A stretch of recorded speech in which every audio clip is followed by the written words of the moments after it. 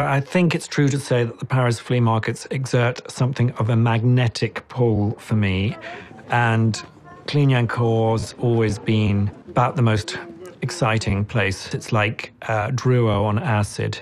I'm Hamish Bowles, International Editor at Large for Vogue magazine. I travel the world seeking out the most singular pieces to add to my couture collection, a collection which I've spent nearly a lifetime assembling. If it's out there, I'll find it on Vintage Bowles. I'm here to find some treasure as usual. It's one of these extraordinary places that has a number of dealers and certain sections of the market have more curated pieces than others. Hamish has been uh, coming here at least for 15 years, yes.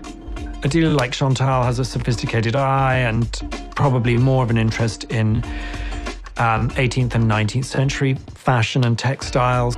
We are both passionate for costumes, so we each time we see each other, uh, he always looks many things, even if it is not his epoch, quite his epoch. He, he likes to look at old pieces. He's really good, and he has a sense, a sense of couture, you know.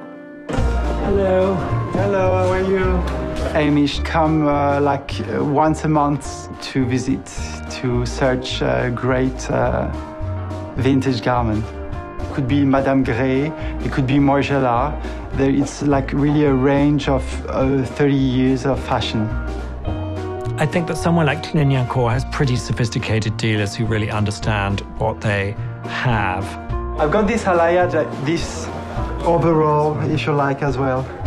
Oh. It's more a question of hoping that you're going to go the day when they have the special piece that hasn't already been snapped up. Yeah, I love that, like a trompe jacket. Yeah.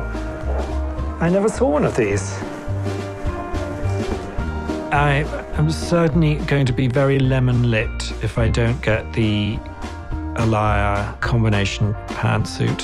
It's so funny seeing him do mannish when everything is so like super The co- back as well. cocotte feminine. Yeah. It had sort of been put on hold by a scout, so I'm not sure if I'm gonna be lucky there. But you know, hope springs eternal. Uh, I'd be very happy to walk away with that. I must say.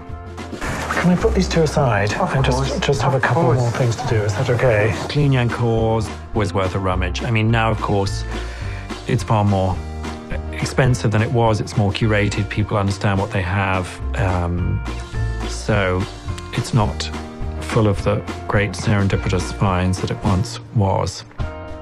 From time to time, it might yield a treasure or two.